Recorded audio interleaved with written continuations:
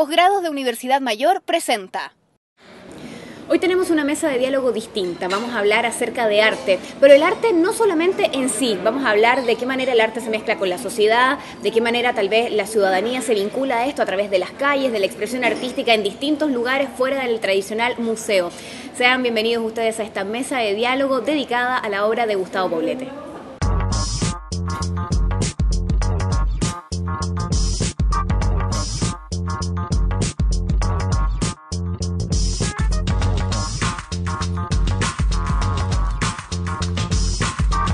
De diálogo desde la Confitería Torres. Estamos con Gustavo Poblete Bustamante, arquitecto de la Universidad Católica y actualmente decano de la Facultad de Arte y Comunicación de la Universidad Pedro de Valdivia. Él es hijo de Gustavo Poblete Catalán. Y junto a él, Daniela Lucena, licenciada en Sociología y doctora en Ciencias Sociales de la Universidad de Buenos Aires. También es becaria del CONICET, el Consejo Nacional de la Investigación en Ciencias y Tecnología. Ustedes? Sean bienvenidos a nuestra mesa de diálogo. Como siempre nos instalamos en este clásico. Es la Confitería Torres que desde 1879 está en el centro de Santiago. Es nuestra casa ya por dos temporadas cuando les damos la bienvenida no solamente a estos temas, sino también a este lugar. Y a través de esta mesa vamos debatiendo distintos temas. Saludamos a quienes se conectan con nosotros desde las redes sociales, desde distintos países, distintas latitudes y que se van enterando de lo que está pasando en Chile. Chile que esta semana, poniendo los ojos y el foco en el arte, ha lanzado este libro que lo vamos a mostrar inmediato, Poblete, aquí está. Vamos a descubrir exactamente qué es el arte constructivista, que es de lo que nos hablaba Gustavo Poblete. Bienvenido Gustavo Hijo, que está con nosotros, y también Daniel Lucena, que desde Argentina nos visita. Gracias por, eh, aceptar la invitación, por estar junto a nosotros. Pero estamos hablando precisamente acerca de este libro, mostrémoslo un poco y contemos eh, exactamente qué es lo que contiene. Bien. ¿Bien? ¿Parece? Vamos a mostrar aquí algunas Mira, aquí aparece justamente Gustavo Poblete Constructivo. Yo te, tengo. ¿Cómo se hace esta recopilación? el, libro eh, tiene dos artículos, uno que tiene que ver con una biografía del pintor y otra eh, que toma un trabajo sobre la obra de Soledad Novoa. Y Magdalena Leblanc hace la biografía. Y después eh, nosotros hicimos eh, una periodización de toda la obra de, Gustavo y, eh, eh, permiso, la pusimos acá porque, con, por ejemplo, con estos grises, ¿ya? Con estos grises, ¿ya? Donde va marcando los periodos de la obra. Porque nosotros, este es un arte que no está difundido, es una expresión artística que no está difundida, que es difícil de, de entenderla porque los entendidos la hacen inentendible. Perdón por lo entendido, pero hablan en difícil, te la muestran en difícil. Entonces nosotros dijimos, este libro tiene que ser de una expresión difícil, hacerlo fácil. Y por eso hicimos estos dos periodos para ordenar la visión de la obra. O sea, cualquier persona que no sea entendida en esta obra, se le va a facilitar mucho la lectura del libro. Partamos definiendo exactamente qué es el arte constructivista, que es a lo que Gustavo Poblete en el fondo se dedicó y que deja finalmente esta herencia para el arte. A ver, eh, eh, ya que tú nombras al pintor, eh, para él era arte constructivo. Arte constructivo es una expresión paraguaya, llamémosle, en que contiene varias expresiones. Entre ellos están los neoplásticos holandeses, los constructivistas rusos, el arte cinético, el, el, op art, etcétera, el minimal, ¿no? Eh, el que están integrados en este, en este paraguas que es el arte constructivo. Eh, tú me corriges si yo voy por otro camino porque es la experta. va muy bien, va muy bien. sí, tengo permiso para seguir. Entonces, en ese sentido, ¿y por qué? A estos pintores les molestaba cuando, en este caso, uno le decía, que son pintores abstractos. Entonces, no somos abstractos, porque ellos construyen una nueva realidad. O sea, ese es más o menos el construir una nueva realidad que no existe, que no está antes, es de donde viene lo constructivo. Leí sobre la, biografía de, de, Gustavo Poblete Catalán que él incorpora a su trabajo estos elementos no tradicionales como los objetos plásticos, el acrílico, el metal, un poco renunciando también a eh, el estar siempre pintando tal vez naturaleza o cosas de ese tipo. ¿Qué importancia tiene esto para la evolución del arte? Y es central, es central porque es una nueva forma de entender la expresión plástica que además tiene que ver con explorar el propio lenguaje plástico. Como decía Gustavo, no es representación porque no alcanza con representar, sino que hay que inventar algo nuevo y hay que construir algo nuevo y en ese sentido el quiebre es muy fuerte porque introduce toda una serie de problemas y también de, experimentaciones que permiten eh, seguir por caminos que acá en Chile no, no se habían, o mejor dicho, se habían explorado por ahí desde la arquitectura en épocas anteriores, pero no desde la plástica. Estaba como muy, se había quedado como trunca la búsqueda de, años anteriores y acá aparece con, ellos que eran muy jóvenes, todo el grupo rectángulo, primero y después el movimiento Forma y Espacio. Pero es muy importante porque inicia, digamos, toda una modernización cultural una modernización muy fuerte. Y en esto, por ejemplo, que nos dice Gustavo de, que no les gustaba ser llamados pintores abstractos, me imagino que debe haber sido un cambio también en la manera de catalogar el arte en ese momento. No les gustaba llamarse abstractos porque por esto que decimos de la copia, esto no copia el mundo, esto lo crea. Y eso también eh, es, em, a ver, ¿cómo lo podríamos decir? Para que no sea difícil, como dice Gustavo. Ahí tenés eso es, una abstracción, porque está todavía uno reconoce la realidad. Claro. O sea, tú puedes ver ahí una mujer, que sea una persona, árboles, montañas, palomas, águilas, lo que sea, pero reconoces una realidad y que abstrae su forma, la, dejas en, una superficie, en plano, ¿ya? y la expresas de esa manera. Y la convierte, perdón, y la convierte en ficción. En ficción, exacto. Y ellos estaban contra la ilusión y la ficción.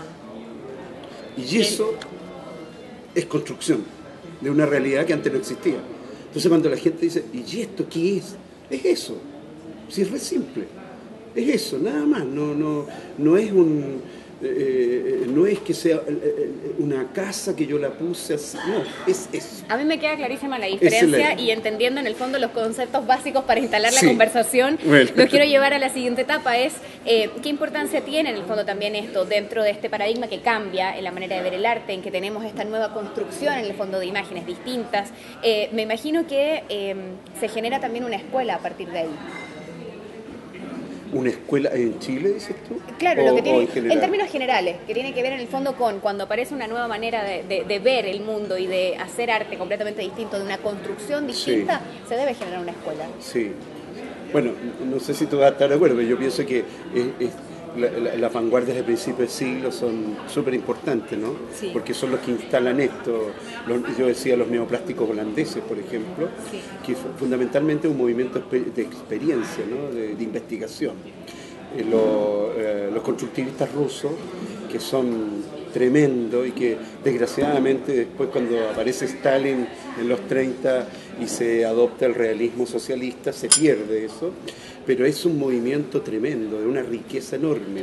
Gustavo, y hay algo, perdón, hay algo interesante que es que lo, esto que marca Gustavo, acá se reapropia, se toma, se sigue ese camino, pero se recrea de un modo también particular que tiene que ver con América Latina. Lo mismo ocurre eh, en Argentina, en Chile, en Uruguay, Perú, en Uruguay con Torres, con Brasil, Claro. Digo, hay una escuela que son las vanguardias, pero que acá se reapropian y se recrean, porque es eso, pero modificado. Ya que entramos en esto que tiene también que ver con, un poco la historia. Una cosita antes de, que lo que está diciendo Daniela me, catapulta. En los años 50 también hay que hay que entender esto en un contexto, porque estos caballeros no vienen volando el aire. Claro. ¿Cuál es el contexto histórico? Ah, que además bueno, nos lleva justamente a eso. Perfecto, porque nosotros estamos conectados. Estamos muy bien conectados. Claro, uno para poder entender el arte tiene que situarse justamente en el momento histórico en que ocurre. Claro. Y el contexto, por ejemplo, que, que ocurre un poco en Argentina, en Uruguay, en Brasil, como decía Daniela. Eh, en Chile se produce un contexto bien interesante en los años 50, cuando viene este cambio, eh, con la música. Nosotros en Chile tenemos a León Chiflovsky, a Becerra, ¿no? con el cambio hacia la música eh, también concreta. Eh, eh, por ejemplo, en el ballet está el BAM, Ballet de Arte Moderno, que lo dirige Octavio Chintolesi. Entonces, eh, el antecedente de Huidobro. El antecedente, claro. Que era un poeta que hacía poesía concreta, también en esta misma línea, ¿no? De, inventar y no representar. Claro, en poesía también hay movimientos de, los poetas, ¿no? Por, por, la poesía concreta. Entonces también hay un contexto general en donde eh, el arte está cambiando. Cambio que se había dado en los años 20 y 30 en Europa. Nos llegó a nosotros posguerra pero nos llegó. Eso es lo y es interesante cómo llega también. Sí. ¿no? América Latina llega justamente por los emigrados, que se van por el giterismo, por la Segunda Guerra y que vienen a Latinoamérica y traen por ahí una publicación medio rota en una valija y acá la ven y se empiezan a intercambiar esos materiales no es como ahora que uno pone Google y claro y aparece, todo. Claro, en ese momento era ver un catálogo, no sé, Argentina por ejemplo los había traído esos materiales medios eh, rotos, medios viejos, pero que les sirvieron mucho a los artistas Greg Stern, que venía de la Bauhaus y a su vez los argentinos tenían mucho contacto con los chilenos, con los uruguayos. Había un clima de época común y un ánimo de renovación y una utopía enorme de desde el arte transformar la realidad. Y ahí es donde, donde Daniela, por ejemplo, en el lanzamiento del libro, que eh, presentó, hizo su presentación del libro Daniela, brillante, eh, reconocida por todo el mundo, eh, hace la relación con la postura política, porque de repente, ¿por qué este, esta relación que se produce entre este tipo de arte y la postura política, que, quizás le calza más de repente cuando la, pintura o la expresión artística es más, es más relacionada con la realidad?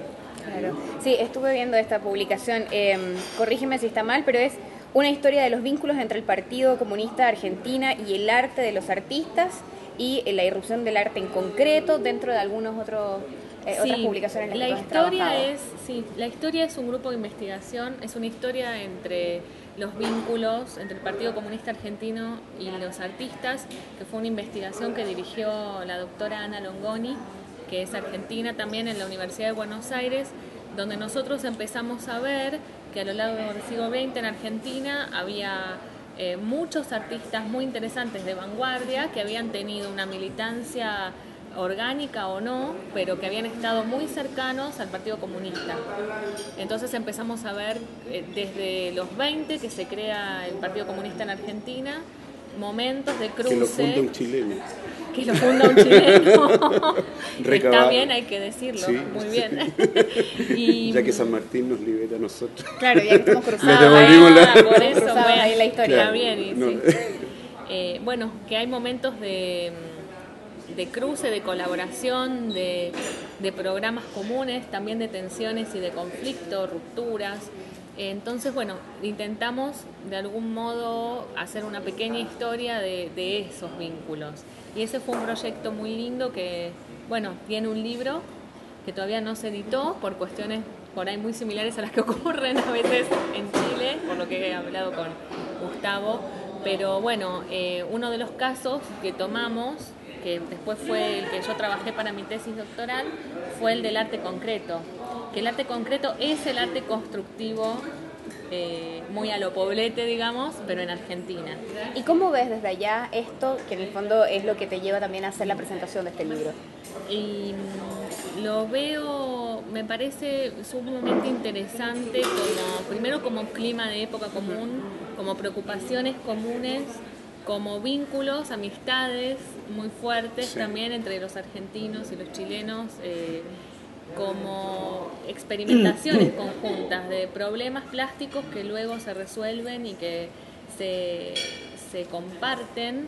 Y, ese vínculo político, cómo lo ves? Y el vínculo político, sobre todo lo que tienen en común es, en el caso de Poblete y en el de los concretos argentinos, el Partido Comunista.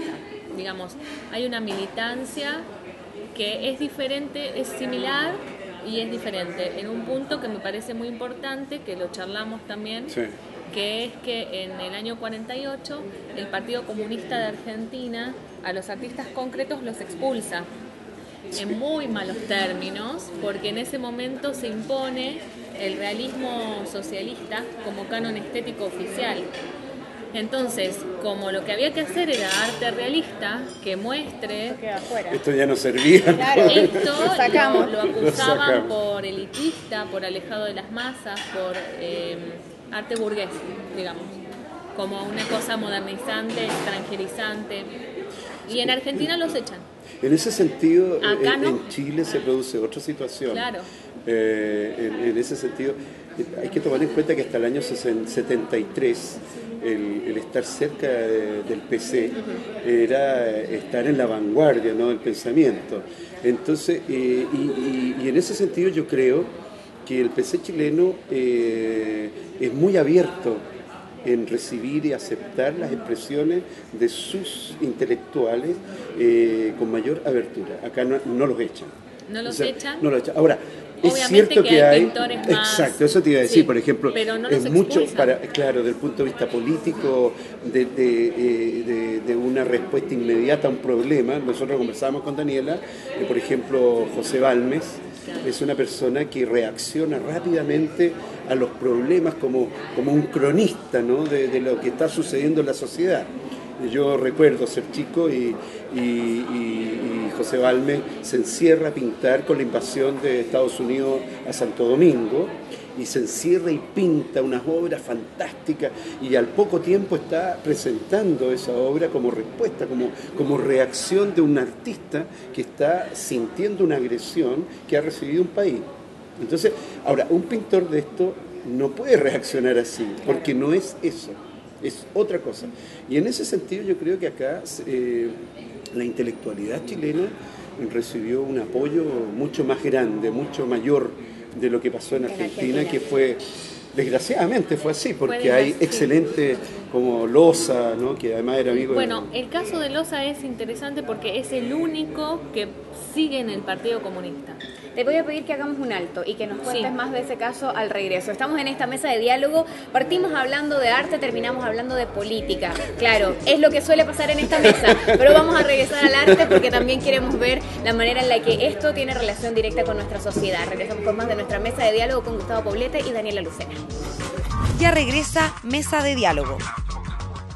MBA, especialidades médicas y odontológicas, diplomados y magíster. Encuentra en Universidad Mayor el posgrado que buscas. Programas de alta especialidad y nuevas tendencias. Si sabes lo que quieres, encuéntralo en posgrados Universidad Mayor. Nuevo Campus Alonso de Córdoba Las Condes.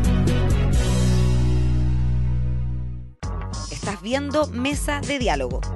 El arte nos reúne, la política siempre llena la mesa, las sociedades y su estudio y su análisis siempre son parte de nuestras mesas de diálogo. Hoy estamos concentrados desde el arte, pero vamos a hablar también de otros temas que se ligan a esto. Nos acompaña Daniela Lucena. Gracias por aceptar la invitación. Gustavo Poblete, que hemos estado ya debatiendo en este primer bloque, conversando acerca de esto. Me hablabas de un caso puntual, retomemos. Sí, Raúl Loza, que era un artista concreto que luego hace el perceptismo, el, grupo se llama Perceptismo, es el que sigue en el Partido Comunista a pesar de que el Partido Comunista rechaza este arte por ajeno a la realidad y a las masas. Él es el único, digamos, lo quería remarcar porque también tenía una relación muy Era muy amigo con, mi, padre. Y ahí hay una, perdona que meta una... una, ¿Infidencia? No, más, que todo, eh, hace mucho tiempo que, que mi papá quiso hacer en los últimos años una exposición con Loza en conjunto. Eh, y yo creo que esa es una tarea que está pendiente. la vamos a tener que organizar. Eh, ¿Cuánto tiempo toma desarrollar este texto, juntar este material, poder hacerlo? Convengamos que el tema del arte en nuestro país es complejo. Es complejo sobre todo en términos de financiamiento, digamos las cosas como son. absolutamente. Mira, nosotros eh, con el lanzamiento que, que hicimos ahora, cerramos una etapa de dos años que comienza con la idea de, postular al fondo del libro, de preparar eso que es para sabios, el preparar la, la postulación, cada día, no sé. Sí, sí, con montones de formularios y cosas. Es tremendo. Hay que hacer un eh, curso para llenarlo. Exactamente. Y eso ya fueron como dos meses de estrés. Después eh, viene, el- el- el- nos, eh, ganamos el fondo del libro, viene el empezar a preparar, viene una etapa de fotografiar toda la obra de nuevo. Después viene la obra de preparar los textos, etcétera, etcétera, etcétera. Y como te digo, en eso ya no, eh, después eh, eh, con, lo con, edi- eh, con Pehuen Editores trabajamos esto. Cumplimos dos años en el fondo de trabajo.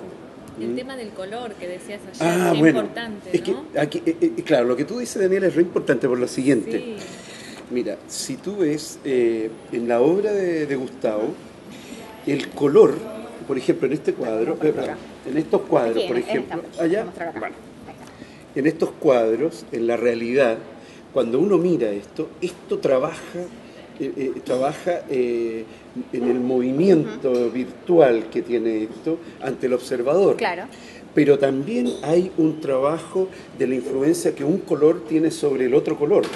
Eh, siempre el pintor se reía porque hacía unos hoyitos aquí, le sacaba, lo ponía y decía, ¿qué color es? Un crema, no, es un blanco, es un verde, etc.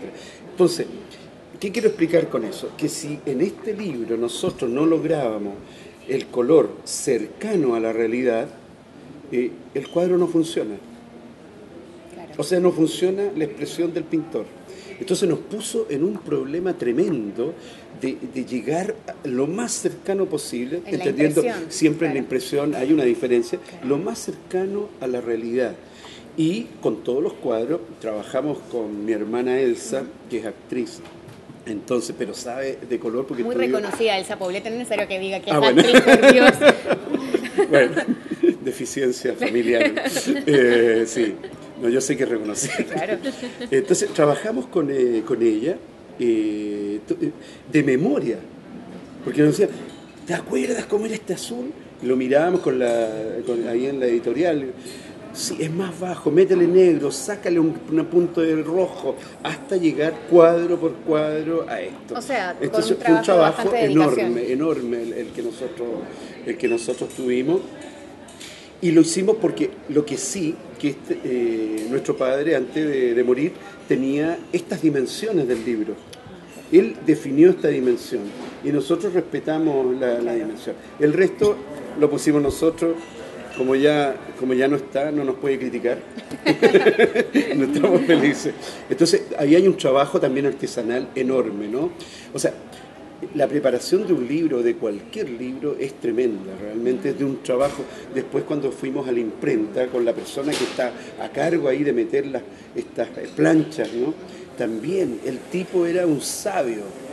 No me acuerdo el nombre de él porque lo habría saludado, pero, pero realmente Pero él un sabe que sabio. estamos hablando Un de él, sabio, seguro que lo sabe. Gustavo, ¿sientes que ha sido reconocido el trabajo de tu padre? Mirando hoy ya con, con esta obra con- concreta a propósito de- del arte constructivo en las manos.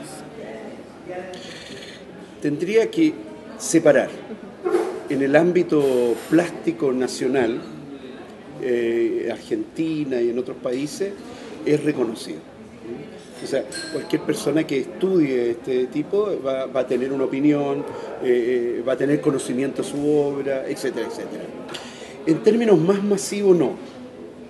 No.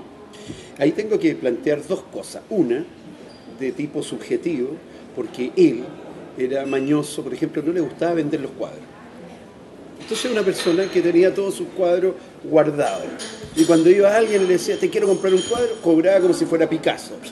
Entonces el tipo salía arrancando, el cuadro se quedaba ahí y él, no, es que este cuadro no quiero vender, quiero ese, no, el otro. Eh, Y siempre no ponía vender obstáculos. incluía no exhibir. No, exhibirse. Pero tampoco era un tipo de fácil exhibición. Además era un tipo eh, riguroso, disciplinado, eh, tremendamente meticuloso, por lo tanto tiene una producción que no son 500 cuadros. Él deja una, una- obra menor en, cantidad, porque en cada cuadro trabajaba, entonces se demoraba mucho. Eh, esa es la parte subjetiva. Y en la parte objetiva es que eh, algo que comentábamos también con Daniela eh, eh, en estos días, cómo el Estado chileno se coloca para poder recuperar o hacer emerger nuevas figuras. Yo entiendo que el Fondar ha dado un paso, pero debería haber otra manera todavía eh, más permanente que diera un apoyo, porque de repente todo el mundo que conoce dice, oye, ustedes no pueden deshacer esta obra, es patrimonio, es patrimonio chileno, es patrimonio cultural, y entonces uno tiene una cantidad de cuadros y de elementos y dice, bueno, ¿qué hago?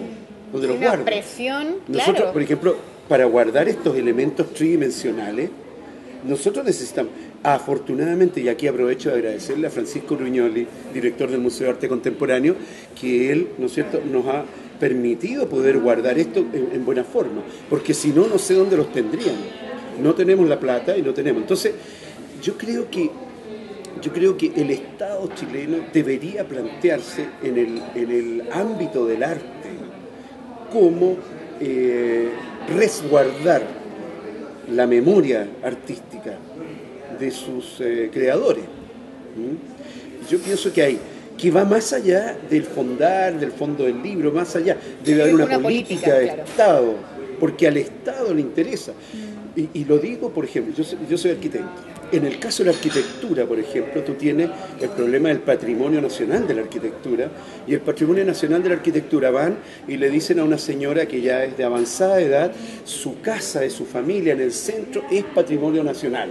Y esa señora a veces vive, eh, tuvo la familia un pasado glorioso, pero ella vive ahora de una renta, ¿ya? Y ella tiene que mantener la casa, tiene que, o arrendarla. Pedir la autorización a la municipalidad hasta para pintar las Todo. fachadas. cosas así. Pero no, además no puede, no puede. Entonces, ¿qué pasó? En los años 80 declaraban eh, Patrimonio Nacional de Arquitectura y en los meses que, que, se- que- que- corría esto para hacerse oficial, ya habían demolido el palacio, la mansión y había un sitio de caso. Y así pasó con muchos. Entonces, el Estado tiene que asumir eso. Quiero memoria, ¿no? Quiero pasado. Bueno, ¿cómo me pongo yo como Estado? Y en general, todos los gobiernos de todos los, los últimos lados, ¿ya? Eh, no se plantean esto. Pero sí, cuando llega el momento, presentan la obra del artista como... Vistiendo. "Guau, me Vistiéndose, viste", ¿me Ahí hay una, una- una actitud que... Lo que estoy diciendo no es políticamente correcto, pero nunca ha sido políticamente correcto.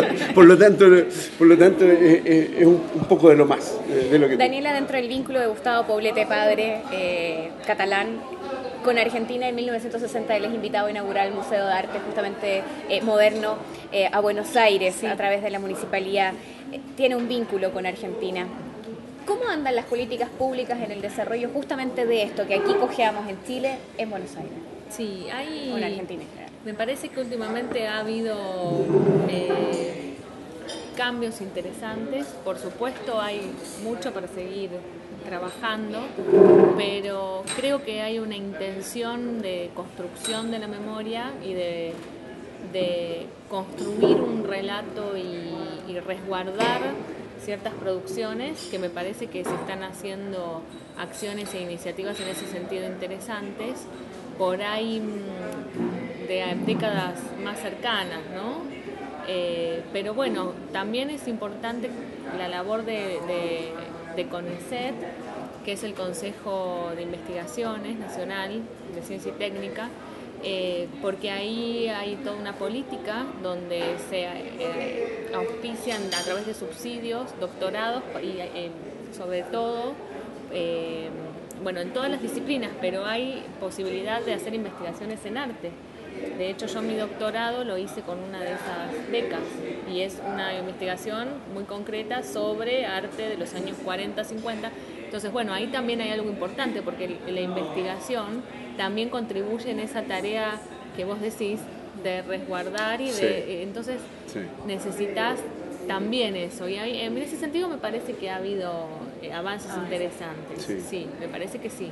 Vamos a hacer un nuevo alto. Estamos en nuestra mesa de diálogo, se nos pasa el tiempo volando, hablamos de arte, hablamos de política, hablamos de cómo también los estados tienen la obligación de resguardar la memoria a través del arte. Regresamos con más en nuestra mesa de diálogo desde la Confitería Torres. Ya regresa Mesa de Diálogo. Estás viendo Mesa de Diálogo. Tercer y último bloque de nuestra mesa de diálogo. Si están recién incorporándose, les damos la bienvenida y les decimos que les quedan unos minutos para disfrutar de este capítulo en que hemos estado dedicados a hablar del arte. Antes de avanzar, tenemos que saludar, como siempre, a quienes nos acompañan desde la Universidad Mayor, donde puedes encontrar posgrados de alta especialidad y nuevas tendencias. Si sabes lo que buscas, encuéntralo en Universidad Mayor. Hablábamos acerca de la política y el vínculo con el arte y me decían también es importante en el fondo mencionar de qué manera esto interviene un poco la ciudad, de qué manera se instala la obra de Gustavo Poblete. Claro, hay una intención de salirse de la tela, de salirse del lienzo y ocupar el espacio que es el espacio urbano, que es las plazas, los edificios, sea, eh, rodear al hombre donde trabaja y donde vive de belleza. Y en, ese sentido, Poblete tenía esa intención. Por eso él hablaba de la integración de las artes. Eh, arquitectura, escultura, plástica, pintura, o sea, todas las artes integradas y terminar con esa jerarquización de bellas artes y artes aplicadas, sino que todas pueden contribuir en esto, en esta construcción que decíamos al comienzo, y en ese sentido eh, está muy presente la utopía política, porque hay una utopía de llevar el arte más allá del museo, que trascienda los muros, que deje de ser algo y que las personas puedan disfrutarlo en su vida cotidiana, integrar el arte a la vida, que fue como el sueño de las vanguardias del siglo XX, en este caso tiene que ver con eh, contaminar, digamos, artísticamente todos los espacios. ¿Qué tan satisfecho crees que, quedó eh, Poblete justamente frente a esta inquietud? El poder llevar el arte fuera del museo. Yo creo que... Eh, una buena pregunta. ¿Por qué haces preguntas difíciles? Perdón, no, Cuando ya estábamos terminando yo dije ya voy bien. Ahora me pone, me pone en, apuro. y yo pensé que ya había pasado el examen. Había hecho una, eh, no, un proyecto para las sendas peatonales. Sí, lo que pasa es que eh, hay una insatisfacción, porque en pocas ocasiones él es llamado a poder integrarse a la arquitectura o la ciudad eh, con su expresión artística. Y volvemos al rol del Estado, claro.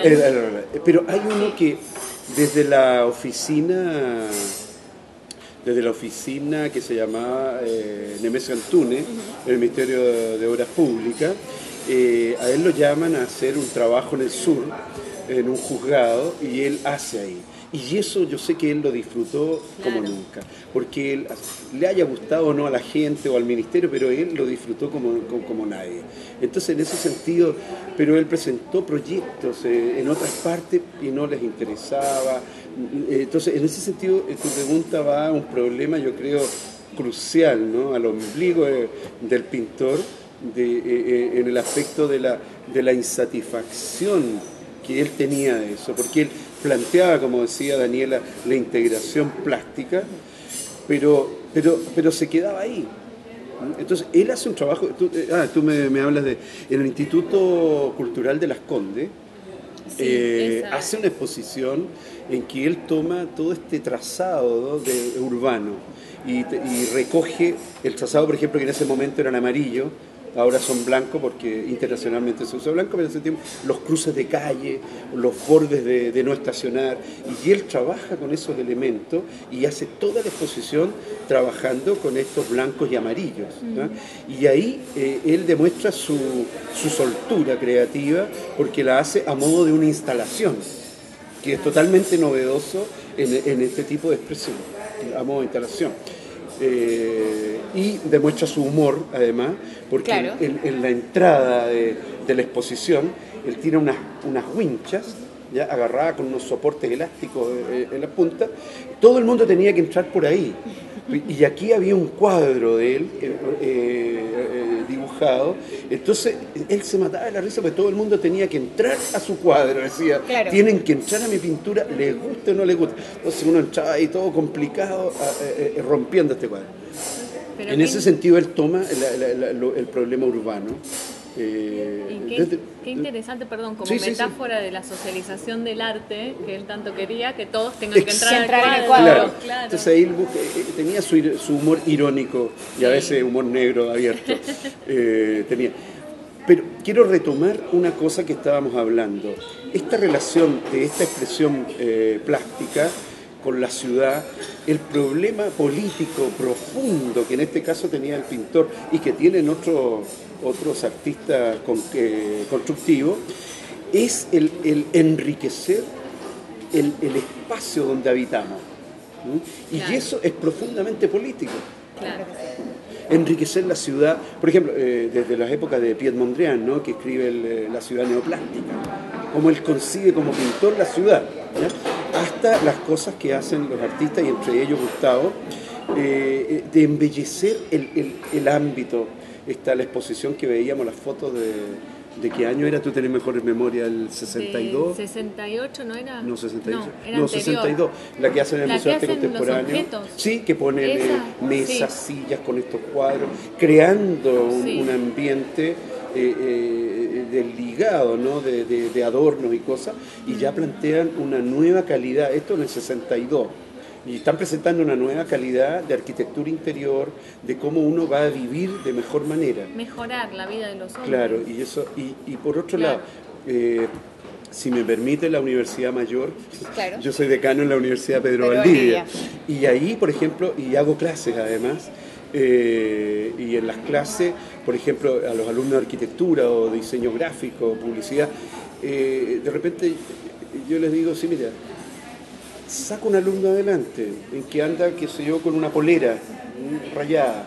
Yo le digo, esa polera es si te gusta o no te gusta. Entonces la gente dice, sí, me gusta, listo. Es lo mismo que esto. Mira un cuadro de esto, ¿te gusta o no te gusta? Es Hay que entender el Es el primer aproximación que uno tiene que tener con esta expresión.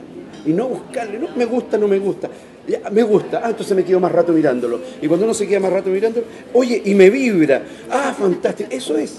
Oye, y esto que parece gris es blanco, o esto que es blanco, etc. Entonces, eh, esos juegos los llevamos en la ropa. Yo hoy día ando con una relación de este azul con este verde. Si uno va va, hay un amarillo con un azul.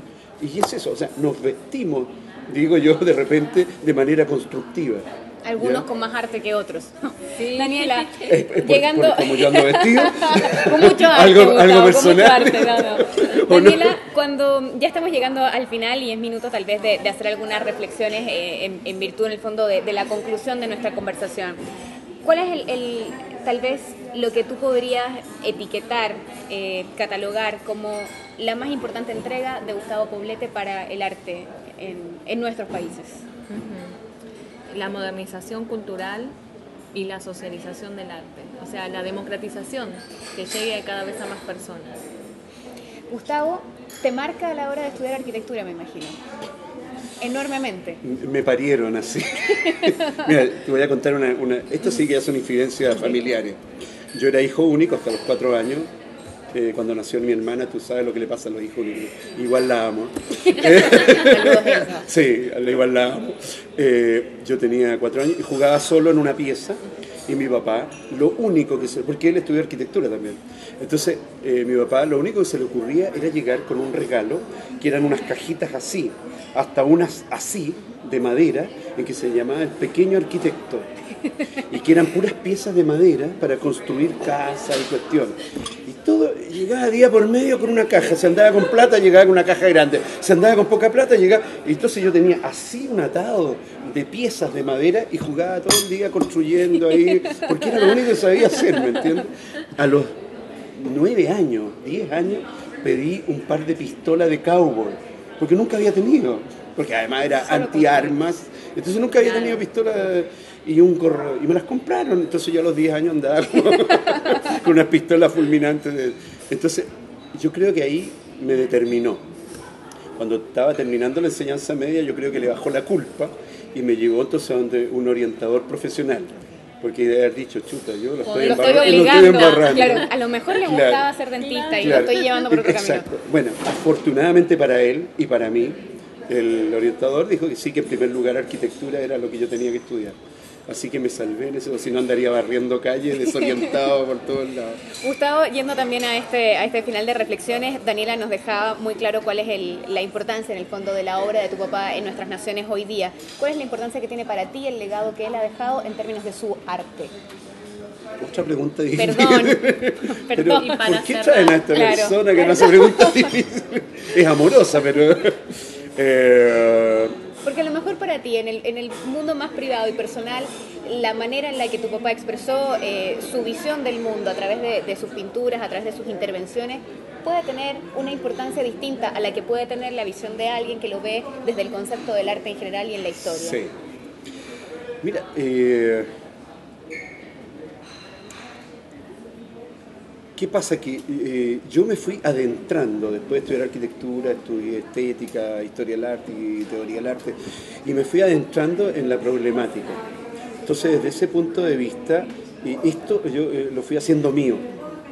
No porque fuera mi papá, sino que lo fui haciendo mío, como hice mío a Loza. Parte de tu como hice, claro, como hice mío a, otros artistas, como por ejemplo yo eh, en el lanzamiento hablaba, por ejemplo, eh, eh, de la Matilde Pérez, yo hice mío también la producción de Matilde, a mí me encanta, y los hice mío, entonces ahora, cuando uno recibe esta herencia, yo recibo una herencia y con ella quiero hacer una difusión. Por eso formamos la Fundación Gustavo Paulete Arte Constructivo. Entonces, eh, eh, que es una tarea que nosotros nos hemos dado porque creemos que esto todavía está por destaparse. Hacia, Hay que expandir el mensaje. Lo más masivamente. Y sobre todo en los jóvenes. Sobre todo en los jóvenes. Y los jóvenes tienen menos prejuicio que la persona que ya está muy formada en esto. El joven se acerca a esto sin miedo porque está lleno de inquietudes, investigando, etcétera, etcétera. Entonces, en ese sentido, y eh, eh, estamos haciendo los esfuerzos para, eh, a través de la Fundación, de difundir la obra de Gustavo, difundir la expresión constructiva, y el tercer punto es apoyar a los jóvenes que han tomado la expresión este constructiva y que, como decíamos antes, tienen bien poco apoyo nosotros no tenemos apoyo, ellos no tienen apoyo, si juntamos algo haremos. nosotros. Exacto, ese es más o menos, aprovecho de agradecerte, realmente eh, les agradezco a ustedes porque eh, de lo que estábamos hablando como carencia, acá no, no se ha dado. Qué bueno es la idea, poder conversar acerca, acerca del arte, entre otras hierbas que también han sido parte de nuestra conversación. Yo les quiero agradecer a los dos por estar junto a nosotros y ya que nos convoca un libro, les vamos a entregar también libros de regalo. Este es el, em, el canto inconcluso de Víctor Jara, que lo tenemos acá, son las memorias, está dentro de los libros que como siempre semana a semana nos envía la gente de Feria Chilena del Libro, va de regalo para ti. Ah, pero qué fantástico. Yo lo conocí, así que para mí... Eh, ¿Sí? Y, sí, conozco a Joan Jara también. Y tenemos eh, la semana en que se juntan los siglos. Acá está, dentro de los más vendidos, este de Santiago de Chile, septiembre de 2010, en el Palacio de la Moneda, el presidente de la República inaugura oficialmente la Semana del Bicentenario. El resto lo lees tú. Muchas gracias. Ay, qué bueno que le regalaste el más grueso a ella, porque yo soy. Claro. bueno, pero por ahí se los intercambian. Les quiero agradecer a los dos, como siempre, a Feria Chilena del Libro también que nos envía estos regalos, a la gente de Vinoteca que nos acompaña también semana a semana, que tiene una selección de vinos y licores y que siempre también es parte de nuestras mesas de diálogo. Gracias por permitirnos conocer más la obra de Gustavo Poblete, de tu padre acá, presente también a través justamente de, este, de esta obra en, eh, en esta mesa. Gracias por permitirnos, Daniela, conocerte también, por entender también de qué manera se vive este arte constructivo y por querer conversar, que es precisamente a lo que nos dedicamos en esta mesa de diálogo. Los felicito realmente y le agradezco. Nos vemos en la próxima. Gracias a ustedes por acompañarnos. Chao, chao.